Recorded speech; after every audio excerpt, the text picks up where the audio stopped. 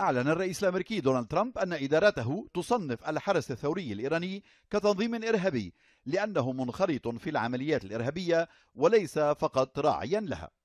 وكشف مسؤولون أمريكيون أن ترامب هو الذي اتخذ المبادرة في هذا التصنيف وأنه كان دائما على قناعة بضرورة توجيه الاتهام المباشر للحرس الثوري بممارسة الإرهاب.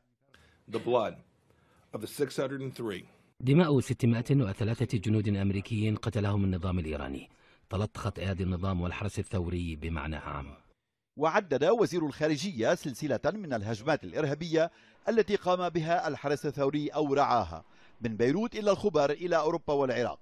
واعتبر أن الحرس الثوري أصبح الآن في خانة حزب الله وحماس والتنظيمات التي يرعاها. ثم وجه وزير الخارجية الأمريكي تحذيرات إلى المصارف وكل من يدعم الحرس الثوري فيما شدد المسؤول عن ملف إيران في الخارجية الأمريكية على ضرورة مواجهة الحرس الثوري.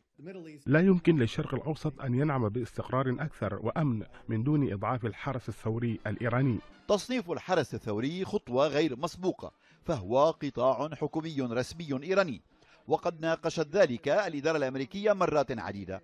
لكنها تراجعت عنه إلى أن قرر ترامب المضي فيه لممارسة أقصى الضغوط على إيران. أما تهديدات الإيرانيين ردا على هذه الخطة فلم تمنع ترامب من اتخاذ قراره. في قضية المخاطر تبدو الإدارة وكأنها ترحب بالمخاطر وسياسة الضغط تدعو إلى المخاطرة وإبلاغ إيران أنه في حال وقوع أي مواجهة ستخسر إيران وبالتالي تتراجع عن المواجهة. سيقدم الجمهوريون تأييدهم لخطوة الرئيس ترامب فيما يؤيدها بعض الديمقراطيين. لكن الرئيس الأمريكي سيتابع تصعيده ضد إيران. بيير غنم الحدث واشنطن.